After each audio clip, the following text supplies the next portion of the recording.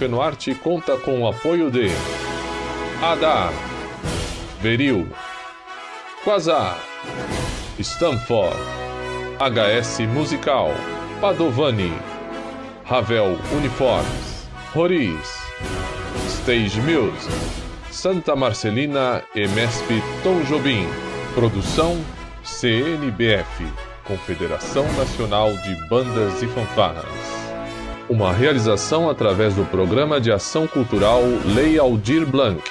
Secretaria de Cultura e Economia Criativa, Governo do Estado de São Paulo. Secretaria Especial da Cultura, Ministério do Turismo, Governo Federal.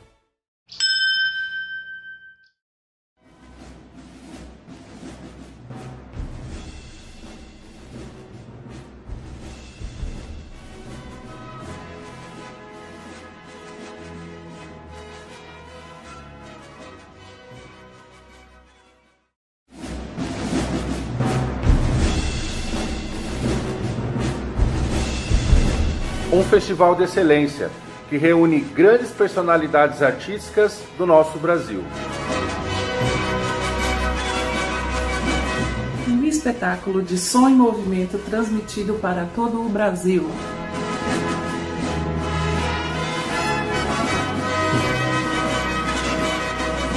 Mais de 70 horas de muita aprendizagem e interação em tempo real.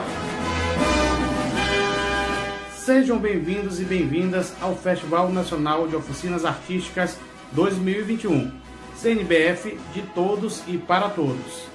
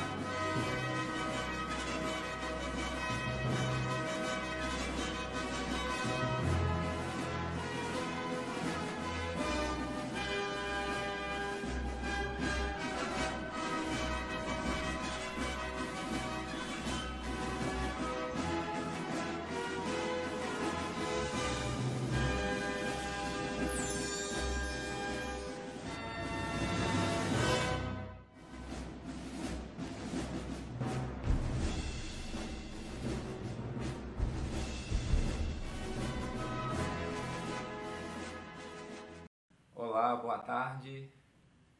Eu sou o Rafael Fonte e nós estamos aqui no primeiro Festival Nacional de Oficinas Artísticas. Obrigado. Nós vamos aguardar aí uns dois minutinhos para o pessoal entrar, ok?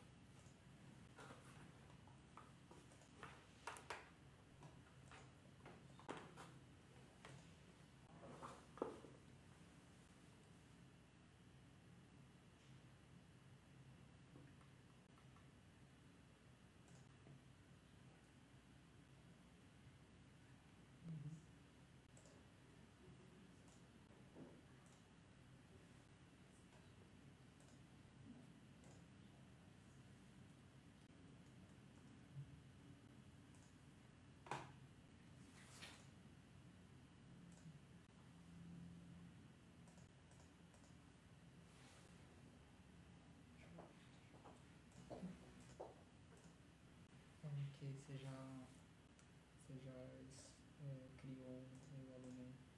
Tá pra excluir? Não. Aí você tem que criar o aluno, tipo, o aluno 1 junto, entendeu?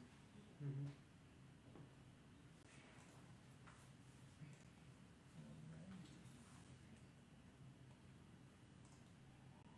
vinte e quatro pessoas, daqui a pouco a gente tem que colocar todo mundo.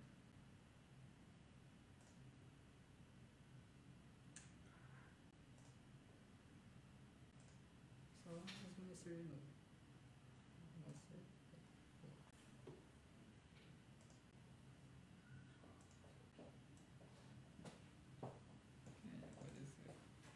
apareceu. Apareceu. Mas por que que não tá aparecendo nessa tela? Também não entendi.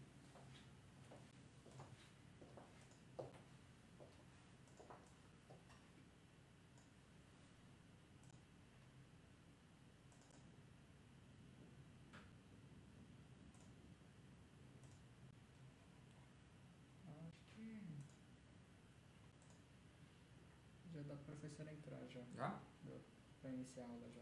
Só abrir o som dele de novo. Os vídeos, né?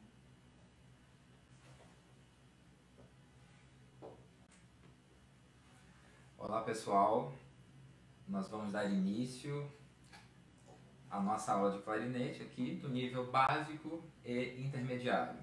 Primeiro eu quero dizer da minha gratidão de estar aqui com vocês, gente do Brasil inteiro e tem gente da Ilha do Marajó, pessoal. É, Nordeste, Sul, eu me sinto realmente privilegiado de compartilhar com vocês um pouco é, da minha história, do conhecimento que eu tenho. Não existe nada fechado, né? Que é aquilo que eu compartilho aqui com vocês, outros professores é, e podem ter outras opiniões, outras visões. É, mas eu gostaria de compartilhar aqui é, a minha experiência com vocês. É, no, no, decorrer da semana, nós fizemos um formulário, uma enquete com os alunos que são ativos nesta oficina e, e uma das coisas que eles queriam saber foi um pouquinho da minha história, como que eu comecei, como que eu trilhei esse caminho até aqui, né? Primeiro, eu sou clarinetista, claro, né? Eu sou músico da Banda Sinfônica do Exército. É, eu sou do Rio de Janeiro. Eu comecei numa banda de uma igreja no Rio de Janeiro, em Santa Cruz, que é um bairro do Rio de Janeiro. E quem conhece sabe que é muito longe do centro do Rio, é bem distante. E foi lá que tudo começou. É, então a partir dali eu fui aprendendo música, fiz a parte teórica é, e a minha primeira clarineta ela foi uma clarineta de 13 chaves que eu reservei até uma, uma foto aqui não sei se está disponível eu não sei se todos conhecem não, é outra. Isso. É uma clarineta de 13 chaves, olha só. Acho que poucos utilizam essa clarineta hoje. Virou peça de museu praticamente. Eu comecei nessa clarineta, ah, eu tinha 11 anos, né? então tem um tempo atrás aí. Né? É... E depois sim eu peguei uma clarineta né, que hoje nós utilizamos, a, a tradicional de 17 chaves. Eu tive uma experiência com bandas no Rio de Janeiro, né?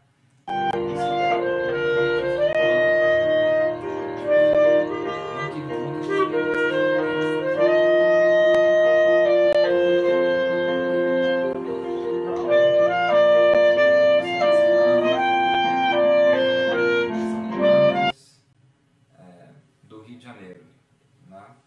E depois eu vim para São Paulo. Eu já vou fazer aqui em São Paulo. 15 anos aqui. Eu fiz uma prova, que foi a prova de sargento músico, e o exército me enviou para São Paulo. É, mais tarde, eu gostaria de abordar esse assunto, eu quero falar um pouquinho de mercado de trabalho para o músico. Eu acho muito interessante isso também. É, e eu gostaria de deixar também, é, de, de, dizer também né, para vocês que o chat está aberto, vocês podem fazer perguntas, é, dizer de onde é, né? muita gente do Nordeste aqui, enfim, fiquem à vontade. É... Pode tirar a imagem, pode tirar. Então, vamos lá. Eu decidi abordar alguns pontos que eu acho interessante para o aluno de nível básico. Enfim, e, e para todos os alunos, né? Eu acho muito interessante que são as partes da clarineta. Por exemplo, é, de abordar e cada parte. Né? E primeiro, clarineta é esse instrumento aqui, que é um instrumento de sopro e de palheta simples, né? que é esse acessório aqui Diferente de um oboé, por exemplo, que utiliza uma palheta dupla. Isso é muito importante porque o som na clarineta ela sai, ele sai, né? Por meio da vibração da palheta na boquilha, que é esse acessório aqui né, que parece um apito. E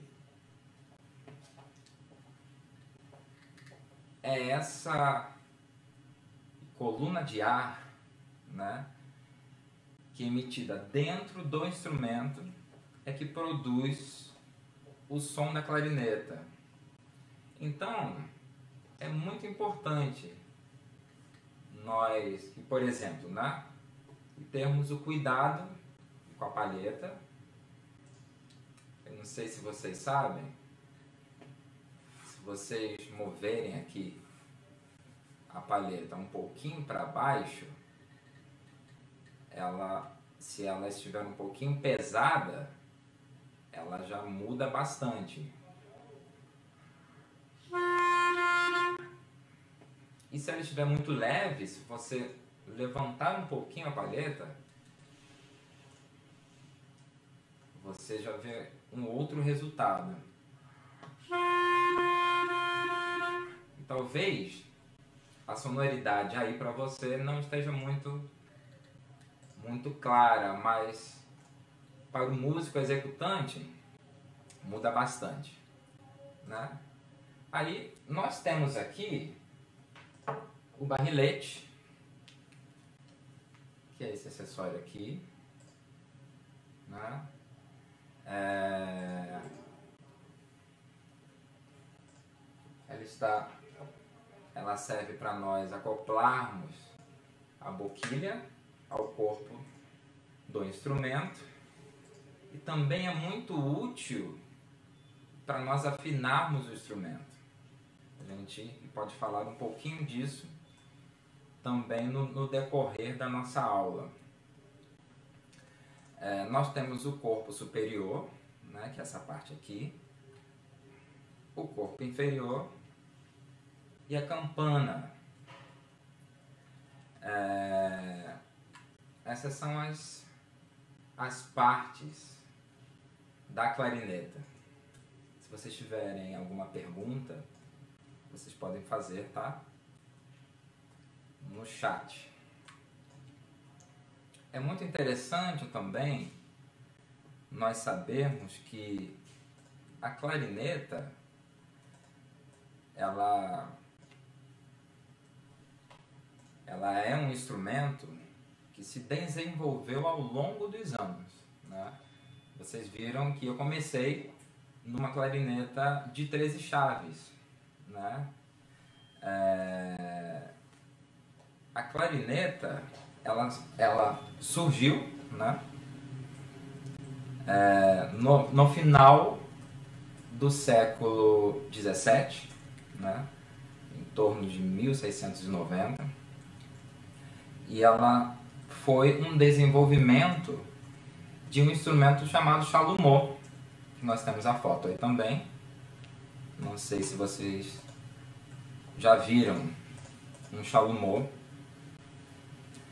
É... Vamos aguardar a foto aparecer.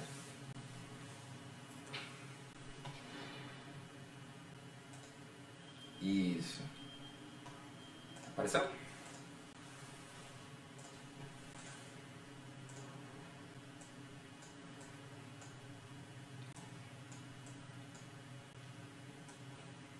Parece uma flauta, mas não é uma flauta, gente. Não vai dizer que o, o professor Rafael disse que era uma flauta. Não, não é uma flauta. É... E, e, e foi muito importante é, nesse desenvolvimento, né? O Shalom está aí para vocês. Essa chave aqui de registro. Foi a partir daí que o Shalom, então a clarineta, ela ganhou mais uma oitava, né? Então a partir de então vários, né? É, várias pessoas, vários músicos contribuíram para o desenvolvimento desse instrumento que hoje nós temos aqui. É... Vocês viram também na foto que tem um chalumô que tem a boquilha para cima. Né? Historicamente, é... alguns músicos, né, num período, tocavam assim, com a boquilha realmente para cima. Isso é muito interessante. E é muito interessante também a gente perceber que hoje nós temos um instrumento com diversos recursos. Você imagina, por exemplo, é, nós tocarmos um concerto, né? é, com uma clarineta de 13 chaves, por exemplo. Né? É, então, não havia tantos recursos assim no instrumento, sabe? E os músicos, eles faziam lindas obras de arte ali, né? É, então, hoje, a maioria dos instrumentos que nós temos é basicamente uma clarineta de 17 chaves. Né? Que nós temos esses recursos. Enfim. Então vamos falar um pouquinho de embocadura. Né? Como que a gente como que a gente pode melhorar o nosso estudo né, com algumas questões técnicas que vocês abordaram é, na, na, nossa enquete. Né? Então, vamos começar com embocadura. É muito importante nós observarmos o que? Vou virar aqui um pouquinho. Que o som na clarineta ela é, é o som é produzido dentro da boca. A gente não vê aqui a palheta vibrando, né? Se, se nós tivéssemos um aparelho né, para nós vermos isso, seria muito interessante. Mas nós não temos isso. Então, embocadura é, é tradicional, uma embocadura é tradicional, seria essa. Nós, nós dobramos o lábio inferior aqui e nós apoiamos a palheta aqui e firmamos com a parte superior do dente, assim. E assim a gente fecha.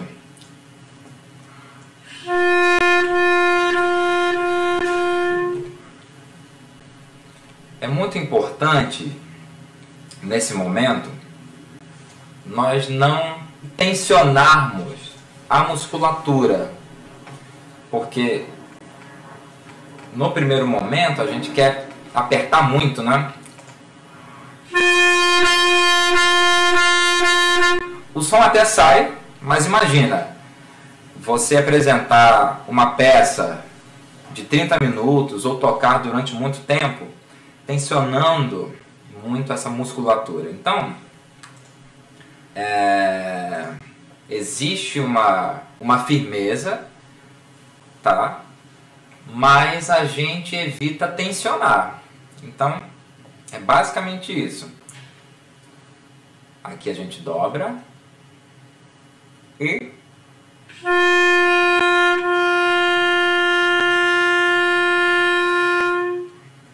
eu, eu aprendi clarinete com uma embocadura que eu acho que hoje não é muito usada, né? ou, ou praticamente não é mais usada. Que foi essa embocadura de dobrar a parte de baixo e a parte de cima também.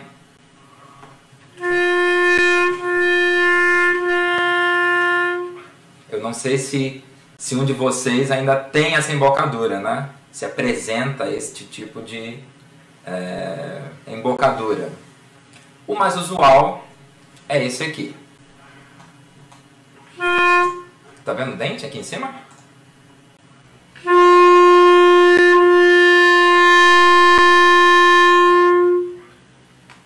Vocês percebem que existe uma firmeza, né? Que não tá frouxo, tipo... Né? E existe uma firmeza aqui.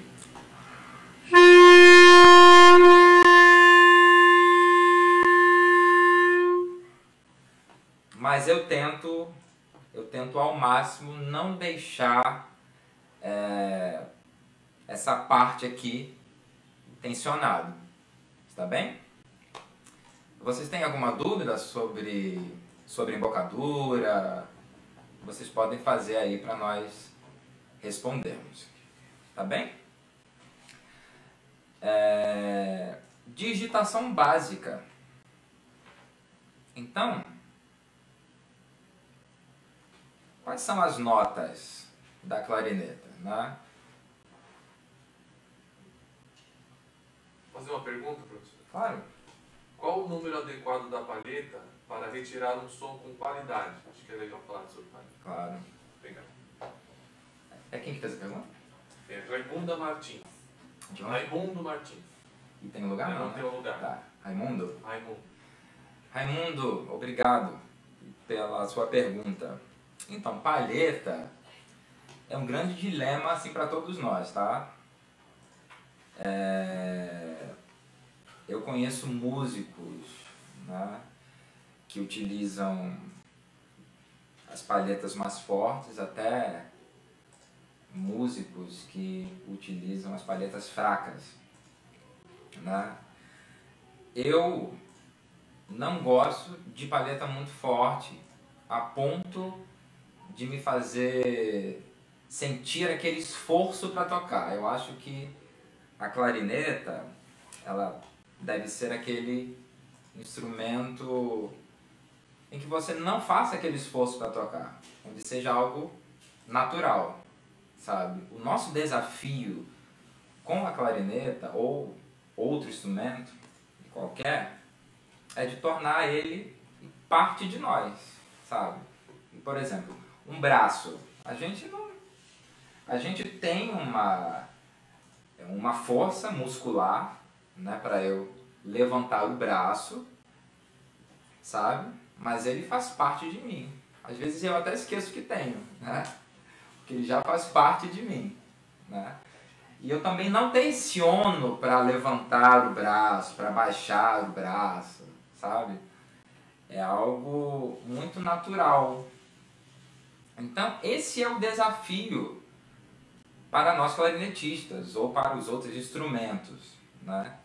É de tornar a clarineta natural para nós. Então, se eu toco utilizando uma palheta que seja muito forte a ponto de ser incômoda para mim, eu acho que não é legal. No entanto, isso seria um ponto que eu iria falar um pouco adiante. É, a clarineta é um instrumento de sopro. Então a coluna de ar é muito importante para nós, sabe? Então, é, se eu utilizo uma paleta muito fraca, eu não vou ter para onde ir. A paleta parece que não responde mais. Entendeu? Se eu tocar um trecho muito forte, um trecho que necessita mais de agressividade, sabe? Por exemplo, é... então você pode utilizar uma paleta mais forte para exercitar a sua coluna de ar, sabe? É isso que eu faço no meu estudo. Eu aqui estou utilizando uma paleta V12 da Van Doren 3,5. E quando eu quero deixar as coisas um pouco mais fáceis, eu coloco uma paleta mais forte para estudar. Aí quando eu pego a 3,5, ela já está mais leve, entendeu? Então, você pode fazer isso também, né? Utilizar uma paleta mais, mais forte, né? É, para o seu estudo, né? Mas é muito importante você falar isso para o seu professor, né? Existem professores que é, gostam que os seus alunos utilizem as palhetas um pouco mais fortes, né? com a numeração mais alta, e outros que não, sabe? E você pode é, retirar a imagem, tá bom? Shalom, já foi? Já tirei. É, então, essa é a minha visão quanto à palheta. Tá? E palheta é uma questão que a gente leva para a nossa vida inteira para nossa vida de clarinetista até o final.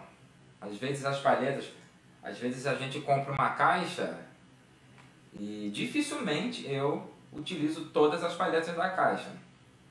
E a gente sabe o valor de uma caixa de palheta, né? Que não é tão barato assim. É... Então, palheta é isso, tá bom? Eu recomendo para quem tem esse interesse, né, de saber mais sobre palhetas, um vídeo no canal da Associação Brasileira de Clarinetistas, é, que fala sobre, sobre palhetas. Se você digitar lá no YouTube, né, é, a BCL e palheta, vai aparecer esse vídeo. Tá bem? Não sei se eu te respondi, é, Raimundo. É, vamos lá. Digitação básica, que são as notas na clarineta, né? Então, uma clarineta aqui de 17 chaves igual a minha, começa com um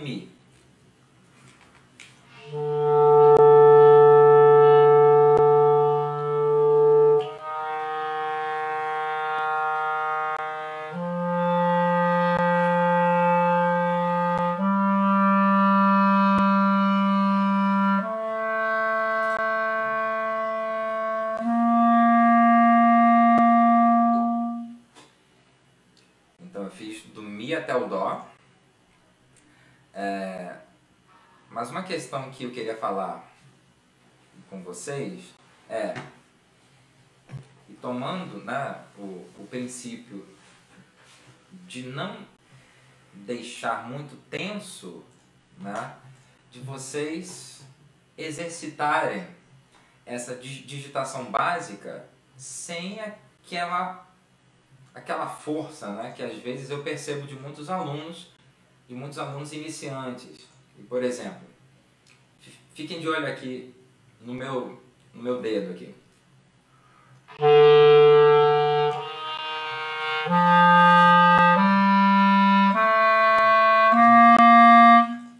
Até deixou a marca aqui do, do dos anéis, né? Então, o meu conselho para vocês é de vocês de vocês exercitarem isso, mas muito lentamente e evitando a tensão, sabe? É muito importante essa questão. Eu vou sempre frisar isso, isso para vocês, né? de nós evitarmos a tensão.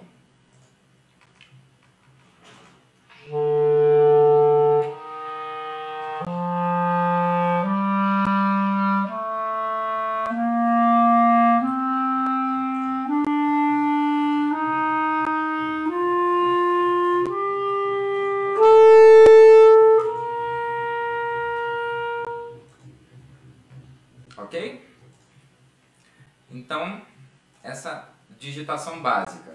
Eu não sei se todos sabem as notas do clarinete, tá bom? Então vocês podem também é, fazer perguntas aí no chat. É, na, na nossa enquete, um aluno perguntou a passagem do Lá para o Si, que para quem sabe, né, que para quem começou clarineta, sabe que essa passagem é a morte, né? É o que todo mundo no início fala. Eu parei de tocar clarinete porque eu não conseguia fazer do Lá para o Si.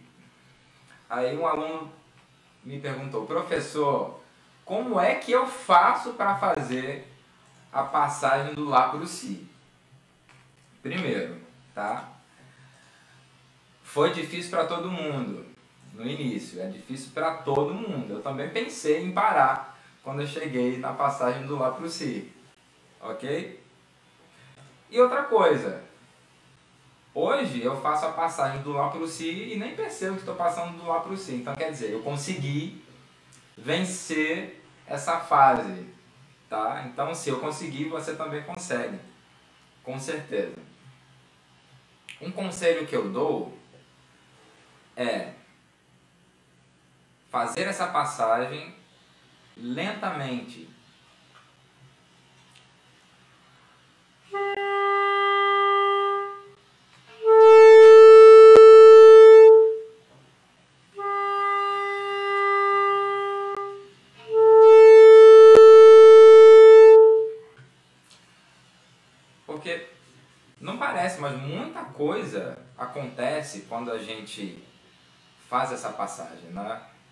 Principalmente essa nota aqui da garganta, a gente está saindo do Lá e a gente está indo para outra região do clarinete. Né? Nós utilizamos aqui essa chave de registro. Então, olha só, quanta coisa acontece aqui. Lá, ó, aqui tudo aberto, si, com tudo fechado, mais esse anel, mais o registro. Então é muita coisa acontecendo rapidamente. Então, em um primeiro momento, os alunos querem fazer isso rápido. Vamos, é, vamos é, aprender uma coisa aqui, ok? Esquece essa coisa de tocar tudo rápido no primeiro momento. Não pode, gente. Não pode. E teve um aluno que me perguntou, professor, como é que eu aprendo clarinete? Facilmente e rápido. Falei assim, gente, eu não sei explicar. Como é que eu, como é que eu vou aprender facilmente e rápido? Olha, eu não sei. Se tiver aí alguém, tá bom? Algum professor que né, possa passar isso desse jeito, me avise para eu, eu, eu aprender também. Porque é tudo lentamente. Você tem que pegar as passagens e fazer a execução de forma lenta. Não pode ser rápido. Então, lentamente.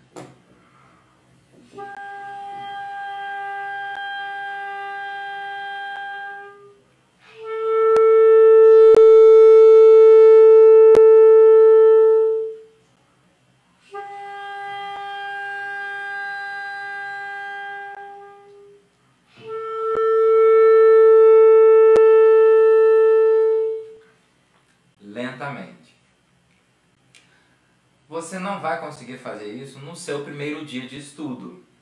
Né? Dificilmente isso vai acontecer. E você também não precisa ficar seis horas incomodando seu pai, a sua mãe, o seu vizinho, que deve falar com certeza: esse menino não para de fazer a mesma coisa. Fazendo esse intervalo. Você pode fazer por um momento e depois vai fazendo outros exercícios, outro tipo de exercício. Ok? É, então, o meu conselho para quem tem essa dificuldade do lá para o si é fazer lentamente esse intervalo, ok? Inicialmente a gente faz ele com esse corte.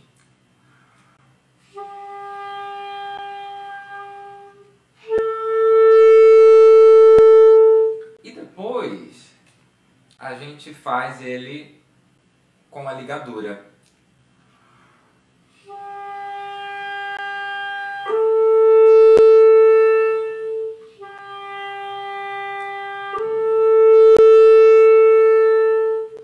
Ok? Essa passagem de registro é uma passagem que eu estudo até hoje, sabe? Para não ter esse, esse ataque, né? Do lá pro si, do lá pro dó, né? Então, para que seja uma coisa é, fluida, natural, é um estudo contínuo, tá bom? Não tem como ser é, rapidinho, ok? É, uma coisa boa para a gente pensar é que a clarineta ela é um instrumento, né? Que eu estou de posse dele. Então, a clarineta não vai tocar sozinha, ela não vai andar sozinha. É, ela precisa de você. Assim como a voz, né? É, por exemplo, para nós fazermos o intervalo do Lá para o Si, com a voz é fácil. Lá, Si. É super fácil. E você pode traduzir isso na clarineta. Sabe? Pensa de uma forma é, mais fluida. Né? E você passa isso para a clarineta.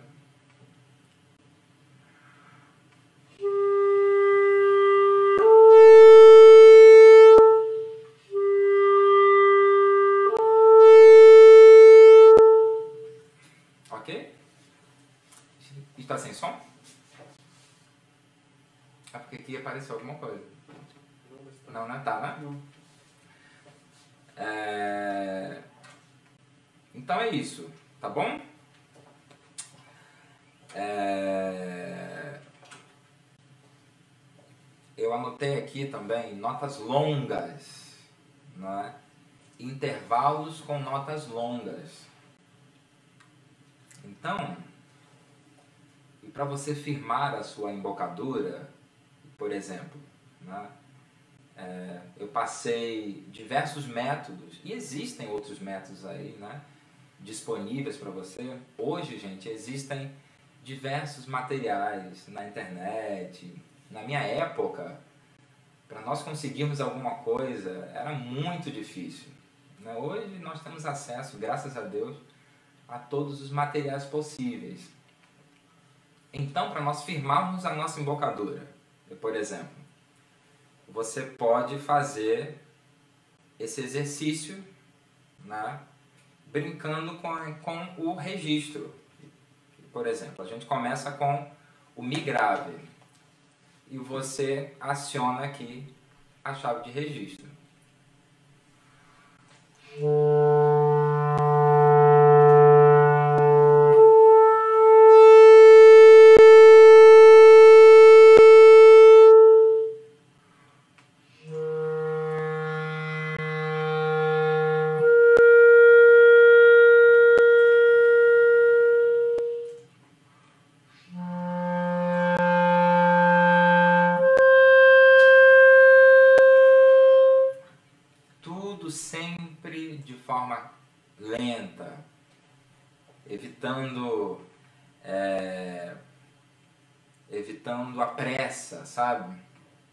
Prestando atenção na coluna de ar também.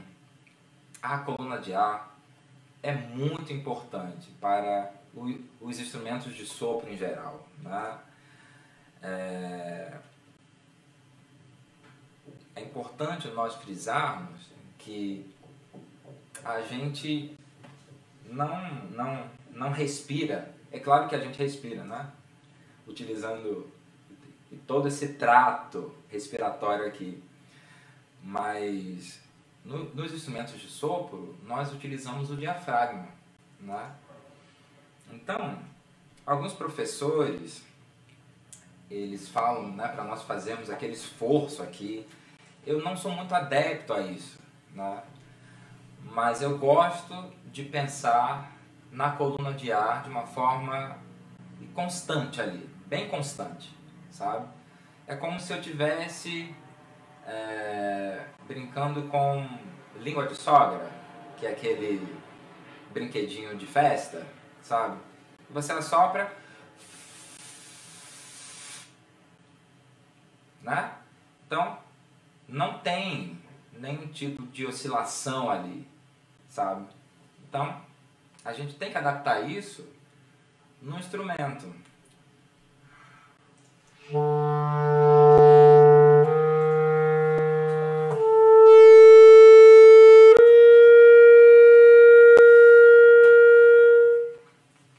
sempre atento a tudo.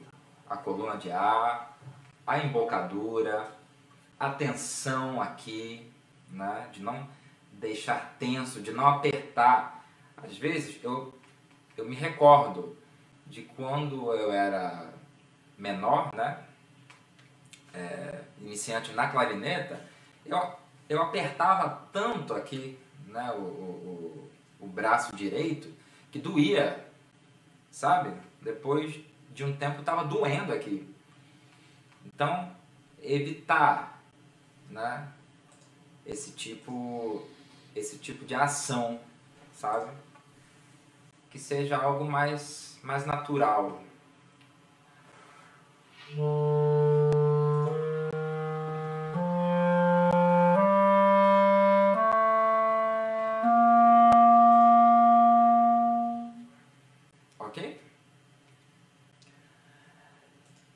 Falando de, de tensão, um dos alunos fez a pergunta, né? Como que eu posso evitar a tensão na mão direita, né?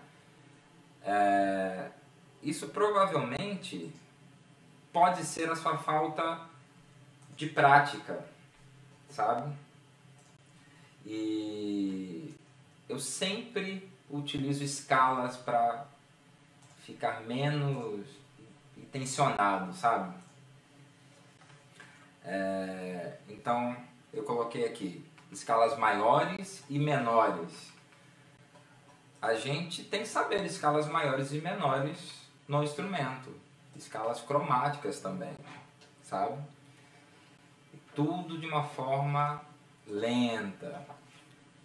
Eu vou fazer aqui uma escala de sol maior. você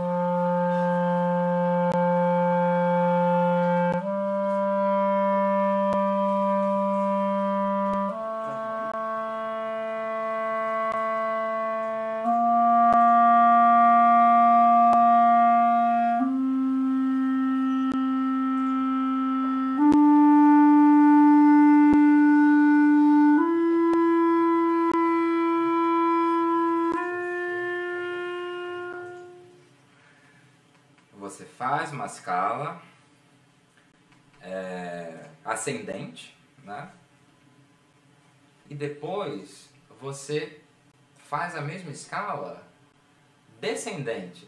É muito importante esta, esta bilateralidade.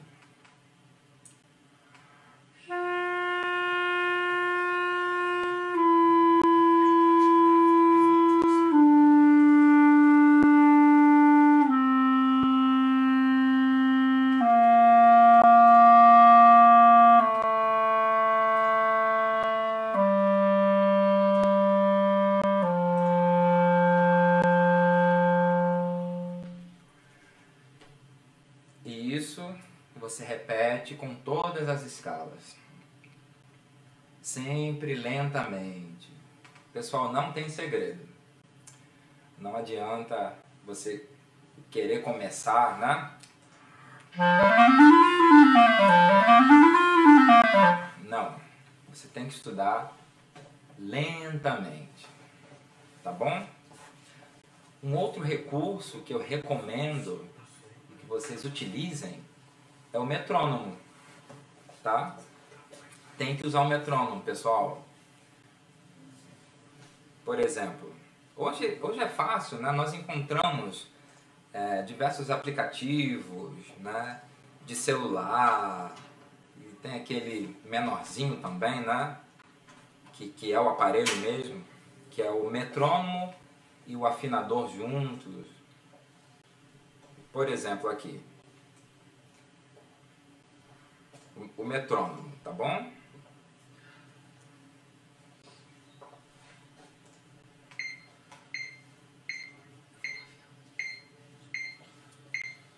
Você coloca no andamento lento.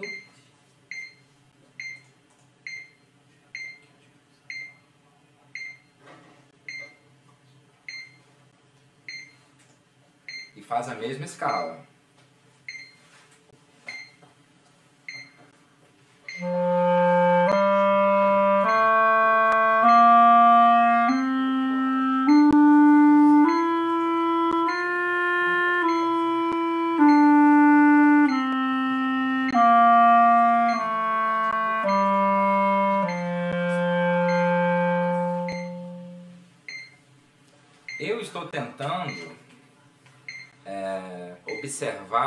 Aquilo que eu falei para vocês, entendeu?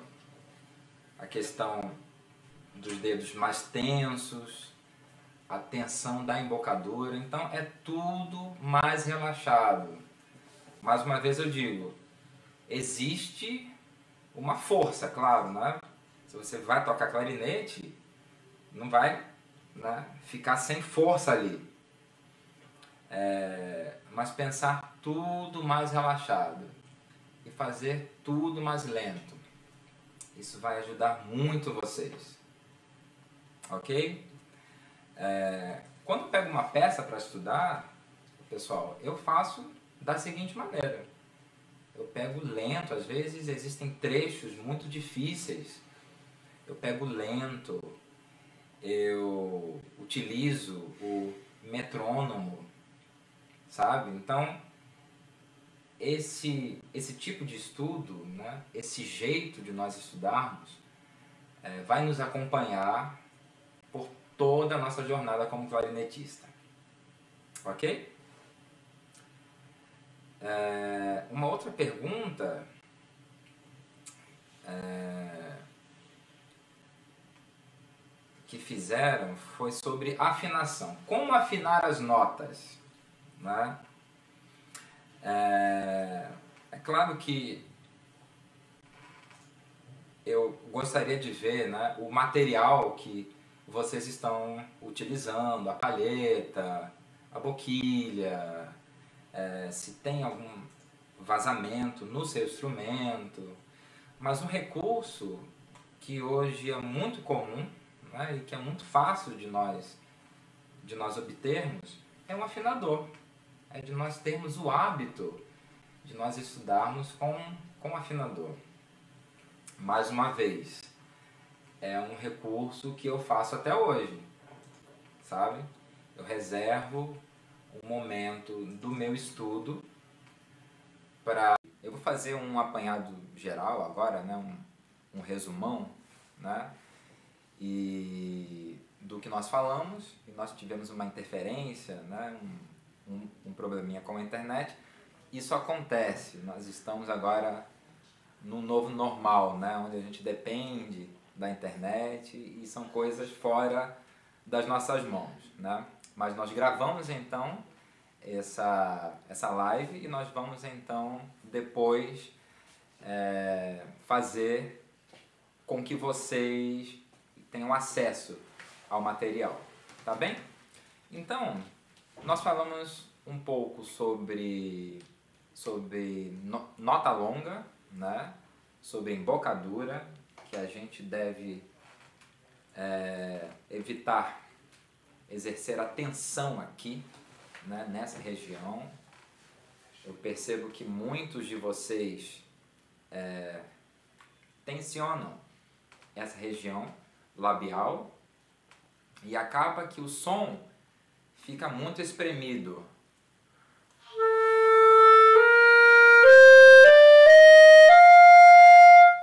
A gente tem que evitar isso, ok? É, e tocar com uma posição mais relaxada.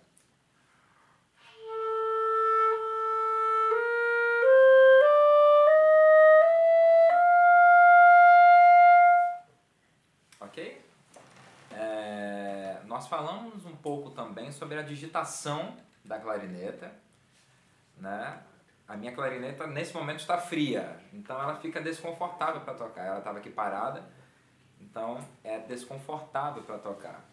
Mas num ambiente normal, é, a gente tem que evitar exercer essa atenção aqui na digitação.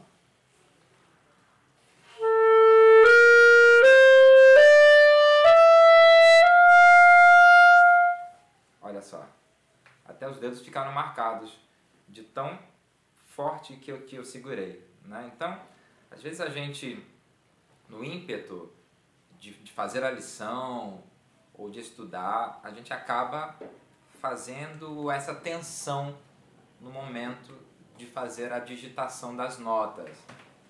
Então, fica atento a isso, né? E tocar leve, é, fazer exercícios de forma leve, ok? Nós então abrimos é, um, uma opção dos alunos fazerem as perguntas no WhatsApp, né? Então, uma das perguntas aqui, né? É, como tocar com agilidade? Como tocar com agilidade? Não tem uma receita mágica. Nós, nós abordamos isso no, no outro vídeo, no início da nossa aula. Você tem que pegar aquele trecho né, que, que é mais ágil, né, que tem mais agilidade, e você tem que estudar lento, muito lento. Por exemplo, né, é, o início do quarto movimento do Sansang, né, que é assim.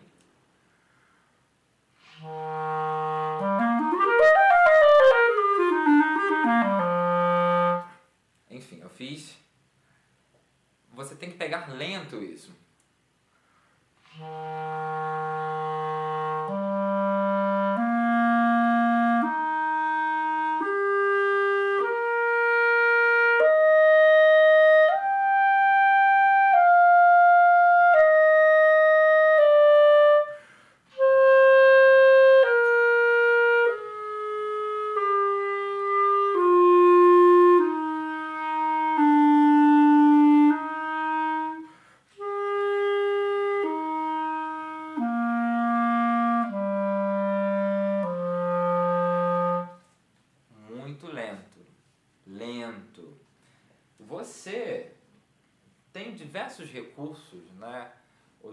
Temos que aproveitar os recursos que nós temos.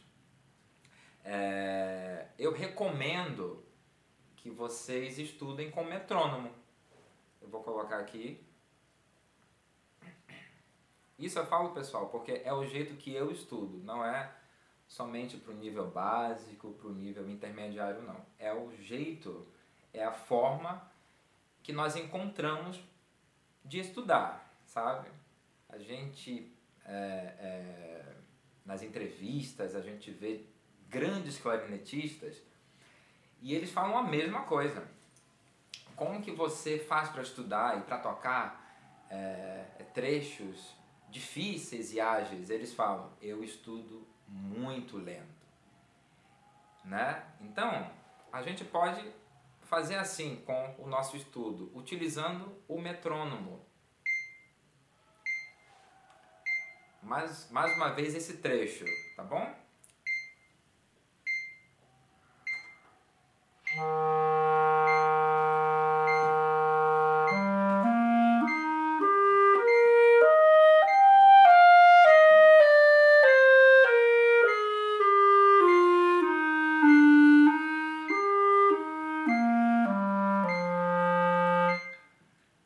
com o metrônomo e eu posso reduzir mais o andamento. Quanto mais lento, isso eu posso garantir a vocês, quanto mais lento, o resultado ele se torna mais eficaz.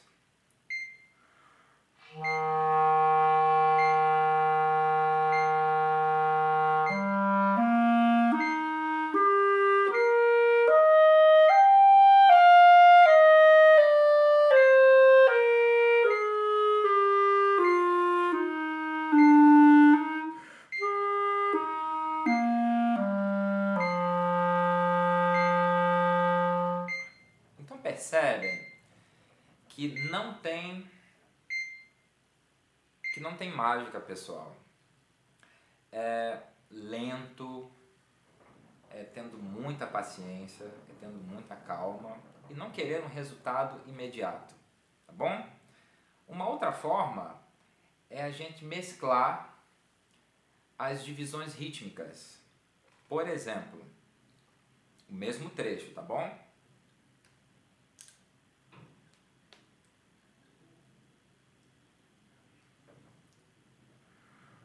Então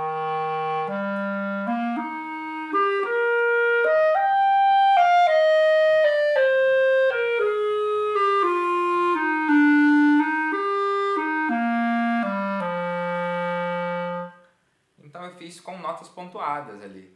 Pom, pom, pom, pom, pom, pom. Isso também vai ajudando e vai dando uma dinâmica para o seu estudo, ok? Aí eu posso fazer dois ligados e dois destacados. Por exemplo.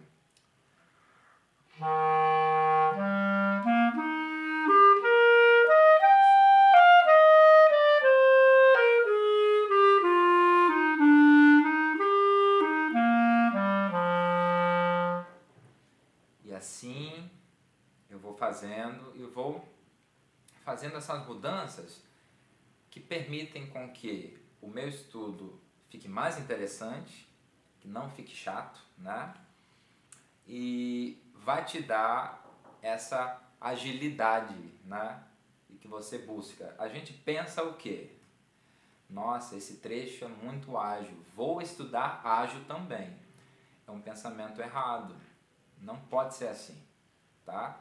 Então, todos os trechos que vocês encontrarem algum tipo de dificuldade, vocês precisam estudar de forma lenta, ok? Então, aí outra pergunta que nós fizemos, outra pergunta que eu recebi aqui, né, no WhatsApp. É... Como faço para eu aprimorar a mecânica e a sonoridade? Humberto de Campos, do Maranhão. Nós abordamos isso no início da nossa aula. O que eu faço? Nós precisamos é, saber né, que existem coisas que a gente vai levar durante a nossa jornada como clarinetista. Ok? Então, um exemplo: notas longas é um exercício que eu sempre faço, né? mesmo estando, é, mesmo já trabalhando com música, tocando outro repertório, sendo clarinetista já há um bom tempo, eu continuo fazendo notas longas, né? É, então eu recomendaria notas longas e exercício de escalas, sabe? Escalas maiores. Você pega é, do Mi grave, né? E vai subindo, faça lentamente, não tenha essa pressa de fazer os exercícios de forma corrida ou muito ágil. Por exemplo, o que eu faço? Lentamente. Mi maior. É, eu vou colocar no metrônomo para nós nos acostumarmos ao metrônomo. Então, a cada beat, eu faço uma nota. Acho que está rápido ainda, né? Vamos fazer mais lento, só para gente demonstrar isso? Mi.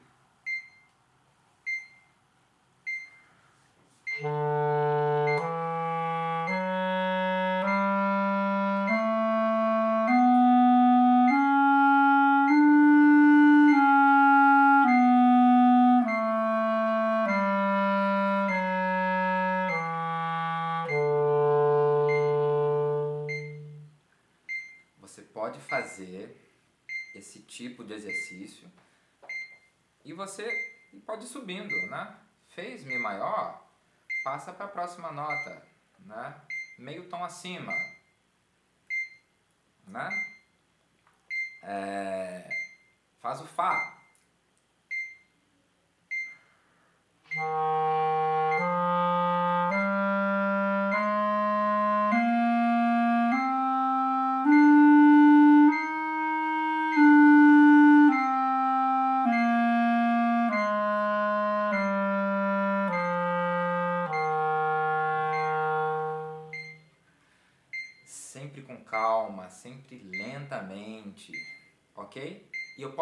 posso reduzir esse andamento, né? se necessário for.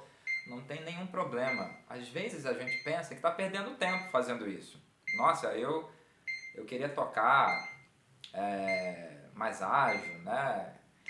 Não, a gente está ganhando tempo. É sério. Isso eu trago assim como, como experiência, né? Porque eu também sou aluno, pessoal. Ainda estudo, ainda tenho professor de, de clarinete. É, então, é, a gente pensa que está perdendo tempo fazendo desse jeito, mas eu garanto a vocês que vocês estão ganhando tempo. Isso com qualquer trecho. Se vocês tiverem é, algum trecho difícil, pegue de forma lenta. Estudem aquilo lentamente. Né? É, e eu garanto a vocês que vocês verão resultado. Uma outra pergunta que eu tive aqui é como fazer estacato de forma mais ágil. E uma pessoa até perguntou como fazer estacato duplo e triplo. Aí eu pergunto como fazer estacato duplo e triplo também para você. É, a gente até é, poderia né, abordar esse tipo de assunto, mas eu acho é, bem melhor se nós abordarmos o nosso estacato do dia a dia, o simples. E eu garanto a você que se você tiver um estacato simples, muito bom, você já, já, já vai suprir 90, 95%, praticamente 100% das suas necessidades do estacato, ok? É, o estacato, eu sei que tem alguns professores que abordam, né, que dão aquela sílaba, que mandam falar o T, o ti, o tá. Eu gosto de abordar o estacato simplesmente como uma leve intervenção da língua na palheta. Mas é muito leve, é muito leve. E isso, mais uma vez, requer um exercício de forma lenta. Você, quando ouve né, um grande clarinetista, né, aquele cara que, que toca pra caramba, é, fazendo aquele staccato, geralmente né, ele teve esse processo de estudo lento. Pessoal, não adianta fugir disso. É um estudo diário e lento. Por exemplo, um exercício que eu gosto muito, se você pega a nota Sol, né? Aqui, tudo solto, e você faz ela é, é com semínima, depois em colcheia e depois semicolcheia. Mais ou menos assim. E tentando encostar a língua o mais leve possível na palheta. Vamos lá.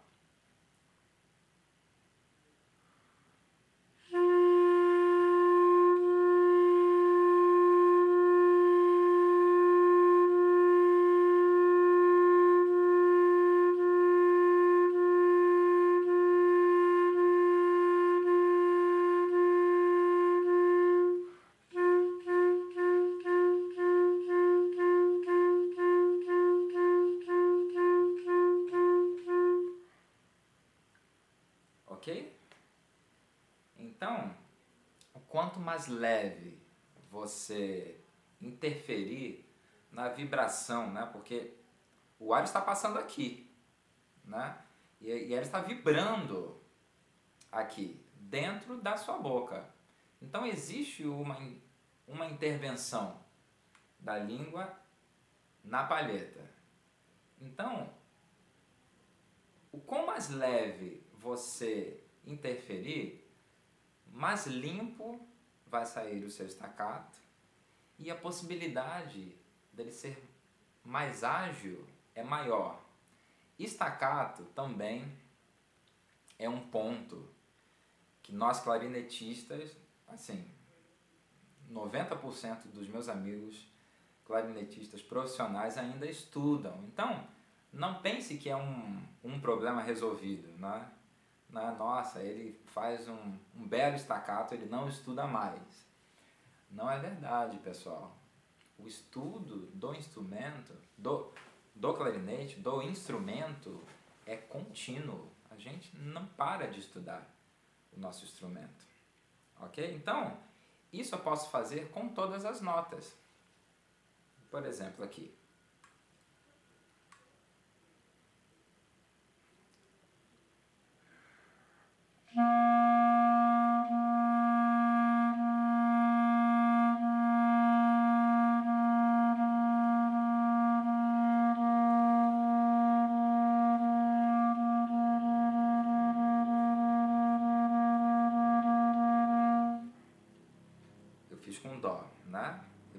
Com sol, agora eu fiz com o dó, né? Então, eu posso repetir isso com todas as notas sempre assim, lento, iniciando lento. E você pode também utilizar o seu metrônomo também, né? que vai te dar aí a noção do tempo certinho. Né? Isso é muito importante também. Então, pessoal, a evolução ela vem com esse trabalho diário. Né? Ela não vem de uma hora para outra, sabe? É um outro é, uma outra é, alternativa que nós temos, né? De nós utilizarmos o metrônomo, de nós utilizarmos o afinador, é de nós utilizarmos o espelho também. Porque, porque nós estamos tocando, né? E a gente não sabe muitas vezes o que está acontecendo aqui. Então, verifica se mexe muito aqui, verifica se a sua embocadura está legal, é, isso também é muito importante, ok? Essa é, autoanálise, né? Hoje, nessa pandemia, ficou muito comum de nós gravarmos o nosso estudo. Você pode gravar o seu estudo e ouvir o seu estudo, ver se está bom, se não está bom, mandar para um amigo seu. O músico não pode ter vergonha de se expor, ok? Então aquele amigo, né, que, enfim, ele pode falar para você, olha, você pode fazer isso, pode fazer aquilo, o, o teu som tá legal. Eu já fui muito ajudado por muitos colegas, muitos amigos, né, que eu chego, ah, vem me ouvir aqui, ver se tá bom, se não tá bom. Isso, isso, isso é muito saudável para nós, ok? Professor André, tem perguntas? Temos. É, professor tá, tem pergunta aqui, algumas, sobre a limpeza do clarinete. Uhum. Acho que é né, importante. Ah, achei uma aqui.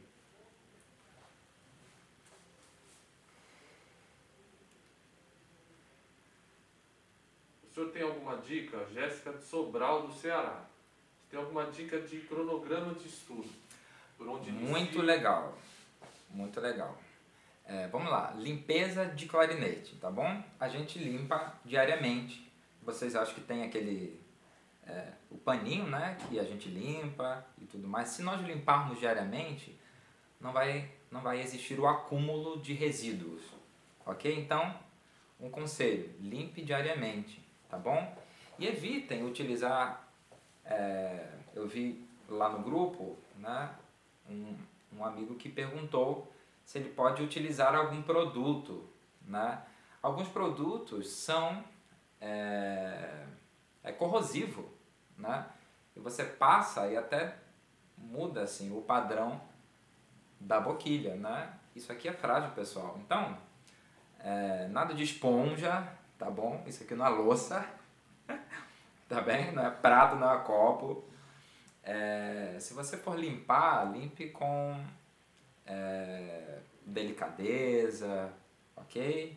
Mas se nós limparmos diariamente, dificilmente vai acumular resíduos, ok?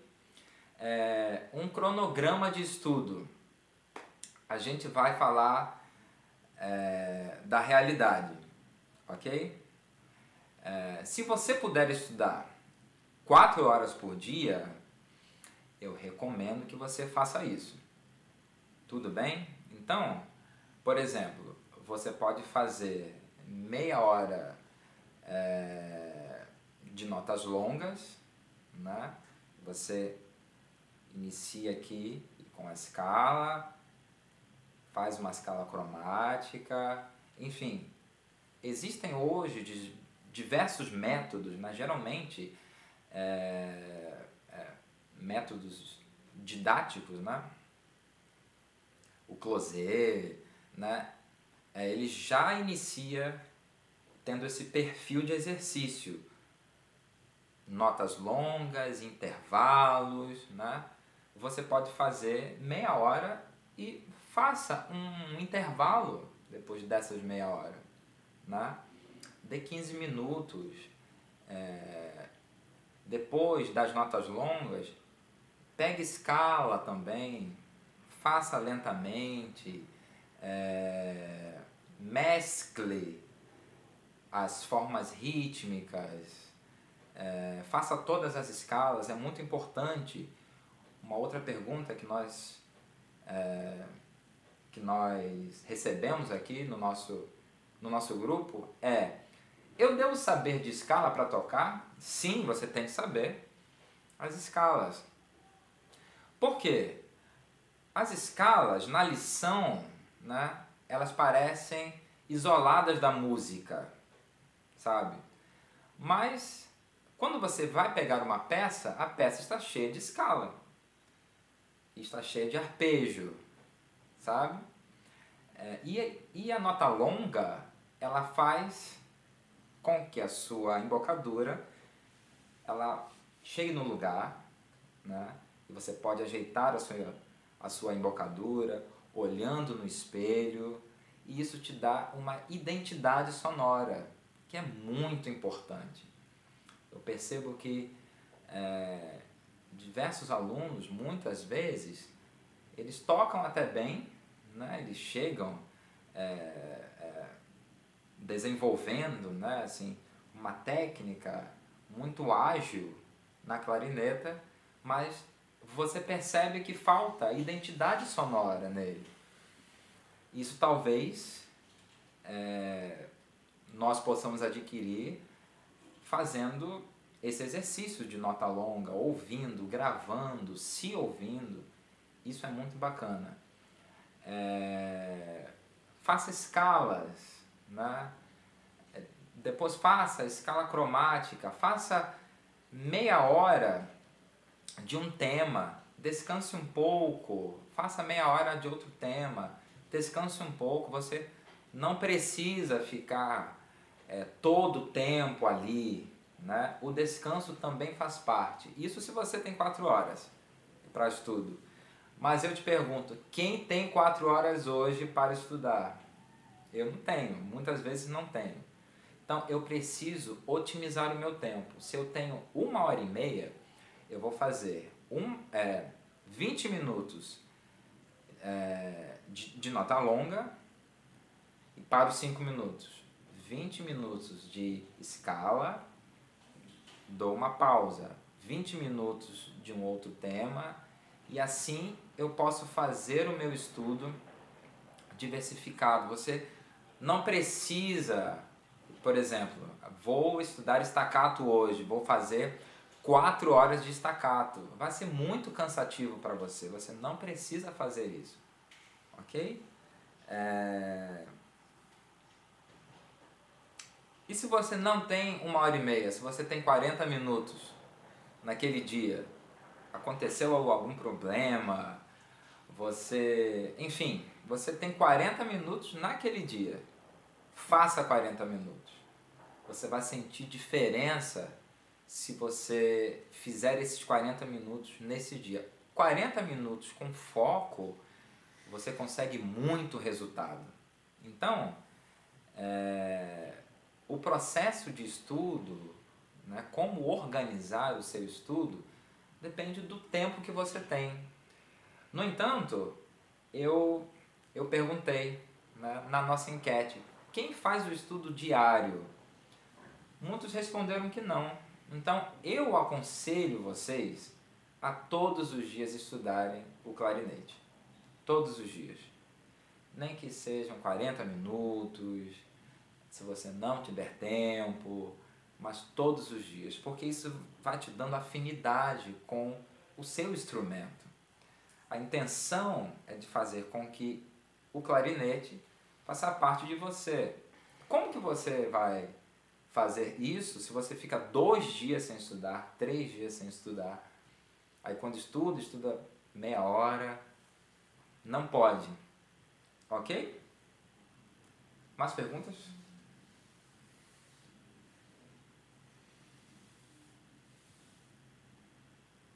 sobre desenvolver mais agilidade, mais agilidade na digitação e a escolha de uma boa palheta. Ok. Então, mais agilidade na digitação. Manaus. Manaus? Lá de Manaus. Manaus. Karine Lima. Karine, é... eu queria te dizer uma coisa diferente, mas se você estudar lento, você vai desenvolvendo maior agilidade, sabe? É, eu vou pegar novamente o trecho dessa sonata, tá bom? Por exemplo, é um trecho que eu acho difícil, então eu pego lento.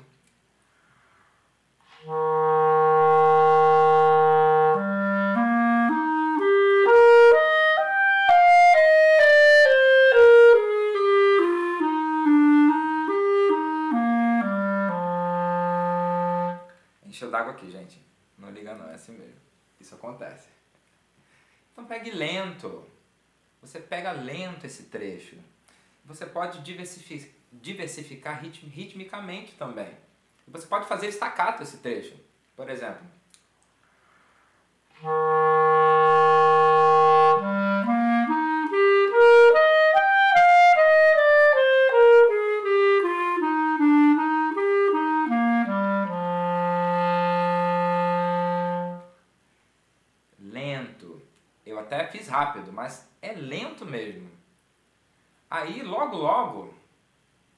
Vai estar fazendo, depois desse estudo de forma lenta, você pode aumentar o andamento. Por exemplo,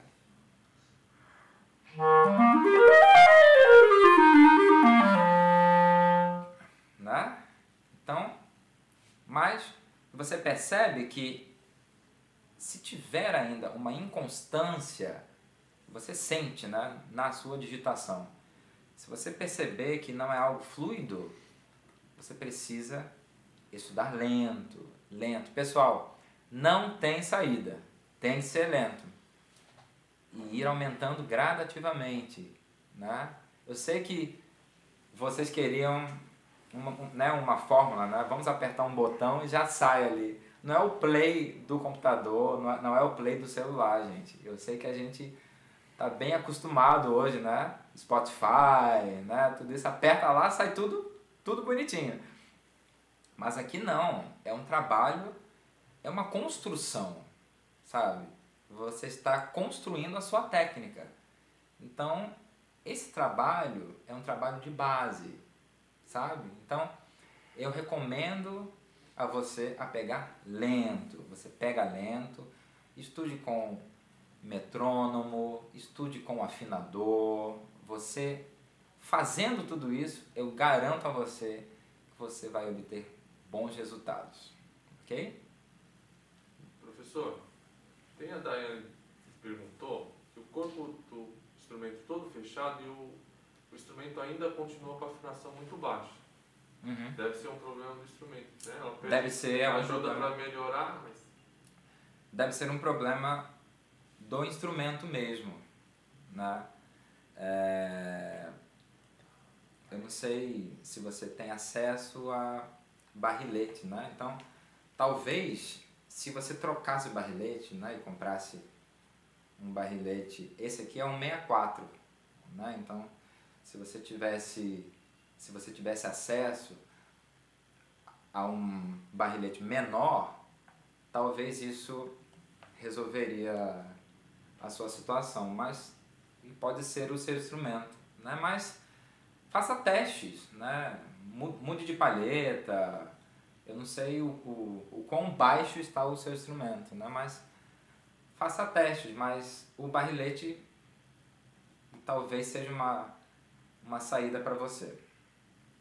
o Eduardo de São Luís do Maranhão quer algumas dicas sobre métodos. Métodos. É, ok. É, enfim, hoje nós temos uma nós temos uma série de métodos, né? Quando eu comecei a estudar, é, nós, utiliza, nós, nós utilizávamos muito o closet, né? É, na, naquele momento era o método mais, mais utilizado e ainda, ainda é muito utilizado, né? Ele, eu acho ele bem completo, mas hoje nós temos alguns métodos, nós temos acesso na realidade, né? É, já existia esses, já existiam esses métodos, mas o acesso era, era muito difícil, gente. Olha, é, década de, de 90, sabe? Me sentindo aqui um dinossauro falando com vocês, mas década de 90, para você é, adquirir uma, uma gravação de um clarinetista, né, de um Mozart, né, você tinha que comprar o, o disco, eu sou da época do vinil ainda, né, e você gravava, sabe? E comprava aquelas fitinhas, eu nem sei se vocês sabem o que é isso, aquelas fitinhas de cassete, assim, né? Para nós gravarmos e assim a gente reproduzia e passava para os nossos colegas. Hoje, se você digitar no Google método de staccato, aparece lá alguma coisa, aparece, entendeu? Então hoje o acesso é, é muito mais fácil, sabe? Então, temos o closet ainda, né? E para staccato, temos o método Kel, né, que é muito legal. É, o Rose também é muito bacana. É, enfim, existe uma, uma gama de métodos hoje em dia que dá para nós utilizarmos. É, eu mesmo tenho muitos em PDF no meu celular. Às vezes eu nem sei o nome, mas eu tenho no meu celular. Se você quiser, tá bom? Você pode entrar em contato comigo. É, me manda uma mensagem lá no Instagram que a gente conversa e eu passo para você, tá bom?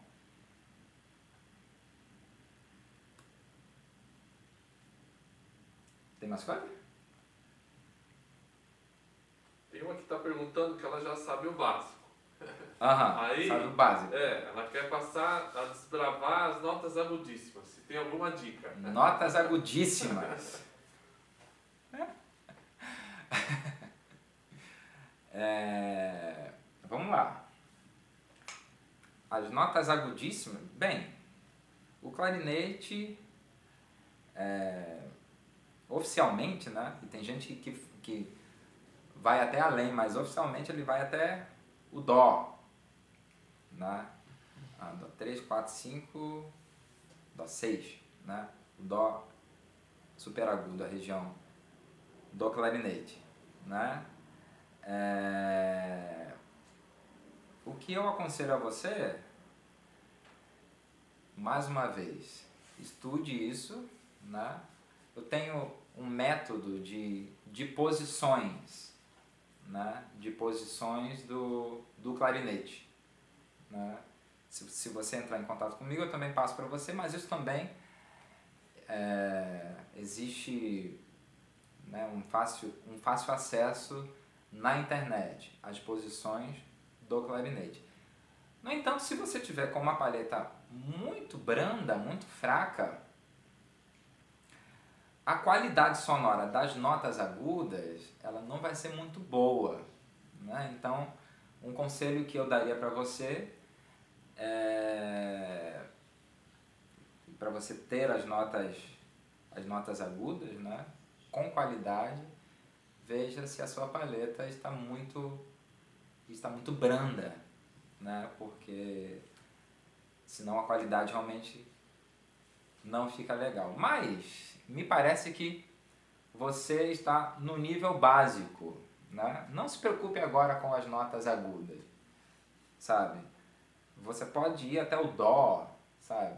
E treinar até o... se você fizer muito bem isso, né? E tiver essa escala muito bem definida, até esse dó aqui com registro, né?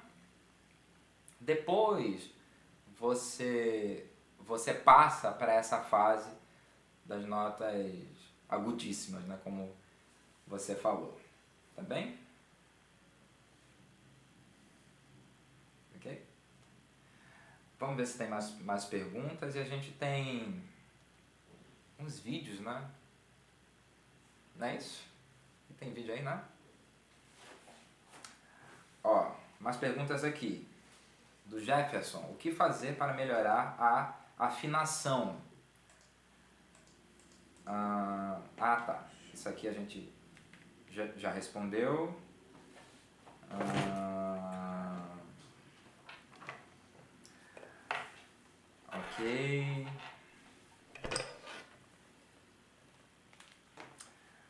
Augustiano de Menezes, do Maranhão, professor como aprimorar a mecânica e a sonoridade, ah, lógico, além das notas longas. É, eu acho que é a sua prática, né? Eu acho é, escalas é muito bom também. E ter uma referência, pessoal.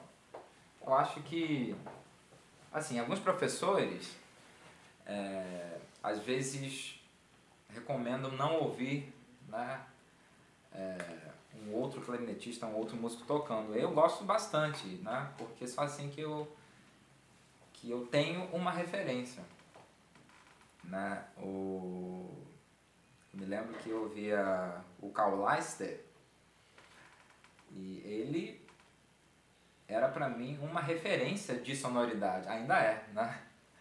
uma referência de sonoridade. E hoje nós temos diversos clarinetistas muito bons, né? diversos clarinetistas brasileiros muito bons. É, e nós temos acesso hoje a diversos clarinetistas do mundo inteiro. Né? Eu acho que ter uma referência, ouvir bastante, né? eu acho que a gente às vezes fica muito preocupado com a questão técnica. É muito importante a questão técnica, tá bom? Eu não estou anulando. Não vai dizer que o Rafael disse que a questão técnica não é importante. Mas ouvir, eu acho, né, que é tão importante quanto você é, ouvir bons clarinetistas, você ter essa referência, sabe? É, na, na, na, sua forma de ouvir, né? É, então, me ajudou bastante, sabe? É, ter essa, essa referência de um outro músico, né? de um outro clarinetista. Então, ouça bastante, ouça bastante e acho que isso vai ajudar muito você. E é claro, a questão técnica diária, né? Nota longa, escala, sempre de forma lenta. Mais uma vez, eu estou sendo repetitivo porque é uma questão repetitiva mesmo. Nosso estudo, é, muitas vezes, é repetitivo, né? É pela repetição que a gente acaba chegando à perfeição. Metrônomo, é, afinador, é, tudo isso deve fazer parte do nosso estudo. Ok? O vídeo está aí? Temos mais alguma pergunta, André?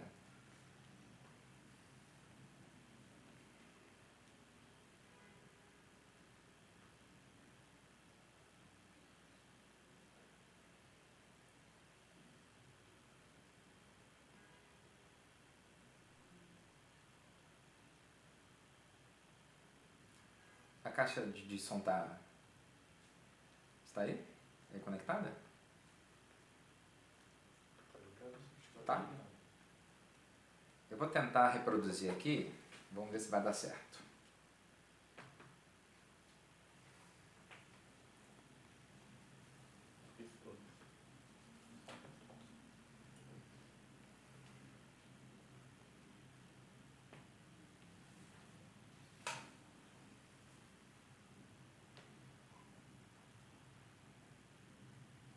Está baixando. Vamos ver se tem mais alguma coisa aqui.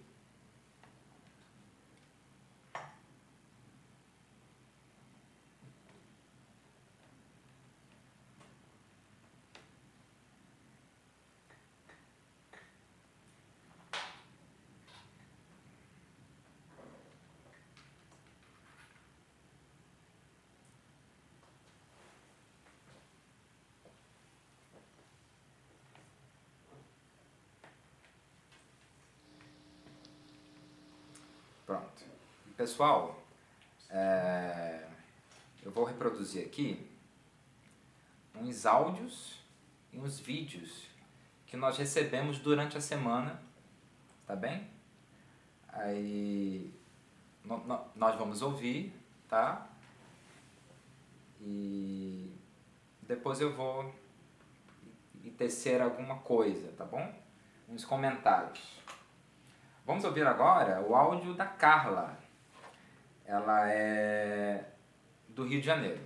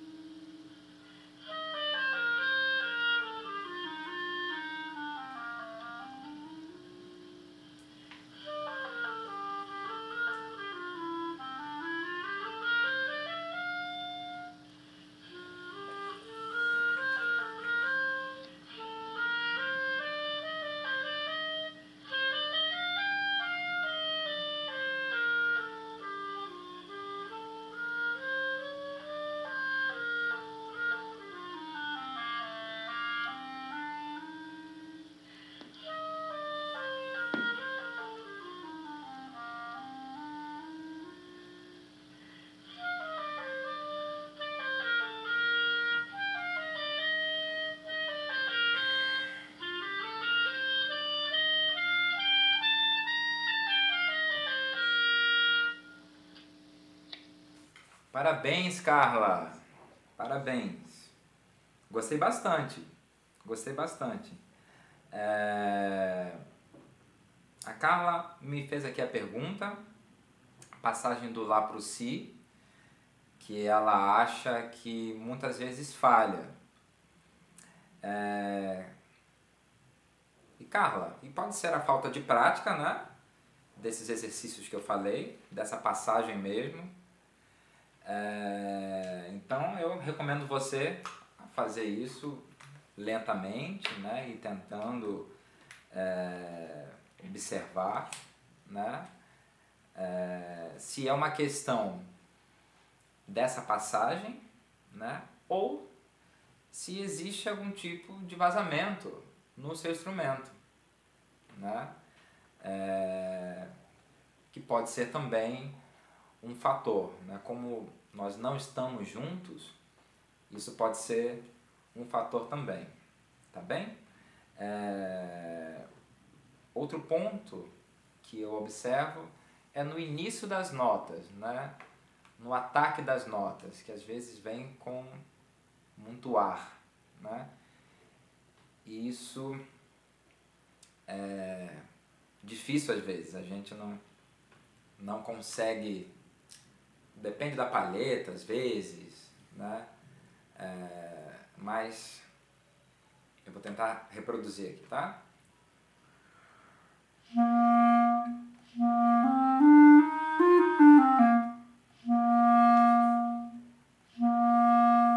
Sabe essa notinha, né? Eu percebi que às vezes vinha com bastante ar. E você pode fazer talvez um pouquinho menos agressivo. E talvez sem língua ou com menos língua, tá? Não assim, né? Deixa eu tentar reproduzir. Enfim. Mas. Mas é isso aí. Parabéns. Parabéns. O vídeo tá aí? Não?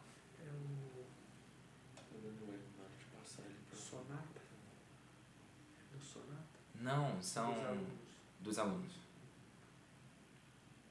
Se não, eu solto aqui aí a gente só ouve, se você quiser. Acho legal. É? É. Melhor, né? É legal você dar um feedback para o aluno, então tá. Tá bom, tá certo. Então vamos lá. É... Esse é o vídeo do Artaxerxes. Deixa eu ver de onde o Artaxerxes é.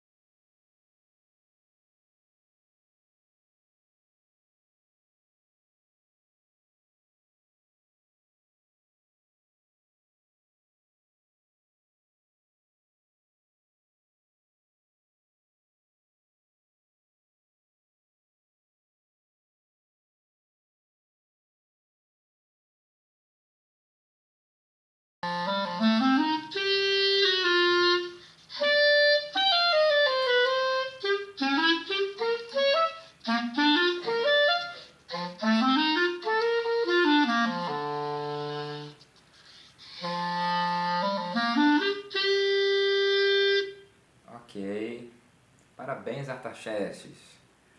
É isso aí. Olha, se eu pudesse é, te aconselhar, é, eu faria uma, uma revisão nessa sua questão da embocadura, porque o que eu ouço é mais ou menos isso, né?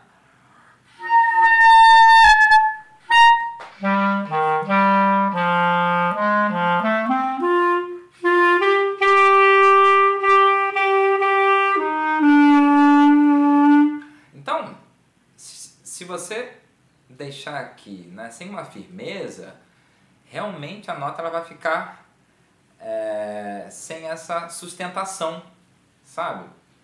Então, o que eu aconselharia a você era dar, dar uma revisão, né?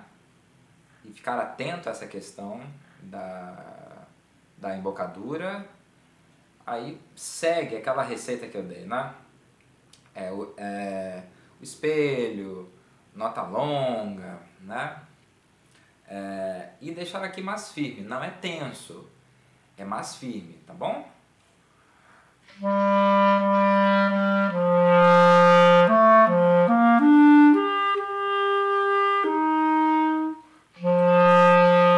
Sabe? Então, é, seria seria um conselho que eu que eu te daria, ok? É, você me mandou a partitura e, e parece que era ternário, né? Então, dá uma olhadinha também é, na questão rítmica, né? Isso é importante, sabe? Eu sei que às vezes a gente quer chegar e logo tocar, logo resolver, mas isso é importante também, né? É um trabalho um trabalho anterior ao fato de tocar. Né? Você pega ali a partitura e, e vê o compasso, vê o andamento, isso também é muito importante. Mas parabéns, é isso aí. Tarcés de Rio Grande do Norte. Rio Grande do Norte. Muito bem. Eu quero falar um pouquinho, é para nós encerrarmos, né? porque parece que está indo. Né? São, isso, já pode. São quatro e meia, né? É. Ok. Então, pessoal, é... não tem receita milagrosa, tá bem? É... Essa, essa questão do estudo, né? eu continuo fazendo para mim, né? estudo lento, estudo notas longas, eu estudo escalas, eu estudo staccato, eu ainda tenho muitos problemas com palheta. Às vezes a palheta não é boa, às vezes a palheta está boa hoje, você estuda, está ótimo, aí amanhã ela já não tem o mesmo resultado. Isso é assim mesmo, ok? É... O que eu falo para vocês, não desistam, não desistam, tá? É... Eu sei que às vezes dá vontade de largar tudo. Não é um, um instrumento barato, né? Mas eu digo a vocês que é, existe, existe uma satisfação muito grande, sabe? Como artista, né? Hoje eu trabalho com música, como eu disse lá no início, eu sou da banda sinfônica do Exército, faço mestrado em música e tenho a música como, como a minha vida. Então a nossa intenção é que você também possa exercer a música como, como vida mesmo, sabe? Eu, eu tinha separado aqui é, um ponto para falar sobre mercado de trabalho, né? É, como músico militar, eu recomendaria você a dar uma, uma pesquisada né, nos concursos militares.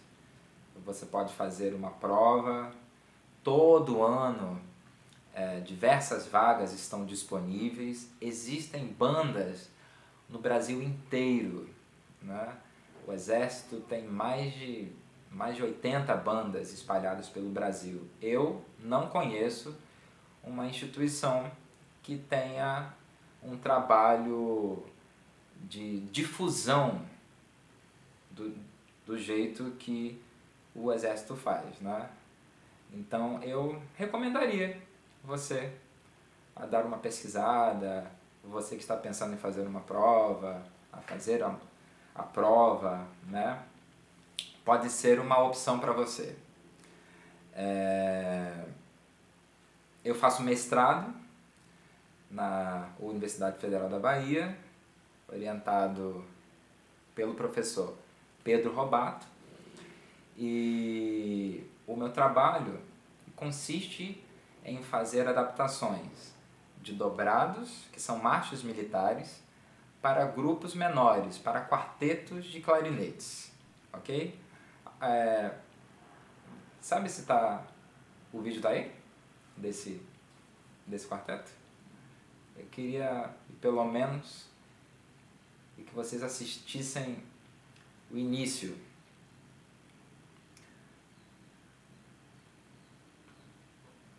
Não, não é esse, não é outro. É, o quarteto eu não consegui baixar. Não conseguiu? Ah, tá bom. Então, então para aí. Bom.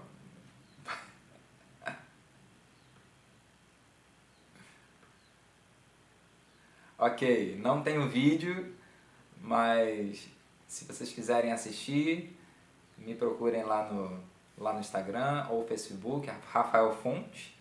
O vídeo está lá. É um trabalho que eu acho bem interessante. E para nós finalizarmos, eu queria que vocês me ouvissem tocar, né? Eu acho importante. Eu falei tanto de clarinete e acho importante vocês me ouvirem tocar, tá bom? Essa gravação eu fiz uh, no, no semestre passado na Praça das Artes. É, gravei com um amigo, um pianista, e foi a Sonata de Poulenc. Vamos ouvir? Isso, agora é essa mesmo.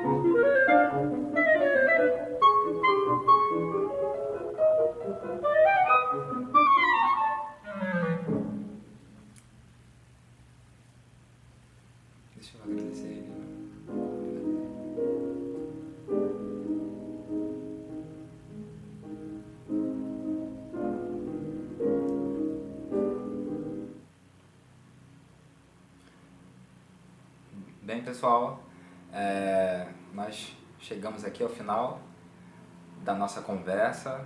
queria agradecer vocês, agradecer a toda a, a, a direção deste festival. Me senti muito honrado em participar. E se vocês necessitarem de alguma coisa, é só me procurarem no Instagram, no Facebook, tá bem? Rafael Fonte. Muito obrigado. Tchau, tchau.